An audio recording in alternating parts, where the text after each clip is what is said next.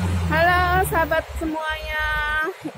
Hari ini libur tapi tidak banyak orang keluar. Ini keadaan di sekitar rumah sakit Prince of Wales Hospital di Hong Kong. Tidak banyak orang yang keluar karena pasien di sini juga bertambah yang terkena virus. Untuk semua teman-teman selalu berhati-hati ya jaga kebersihan dan hindari di kerumunan banyak orang.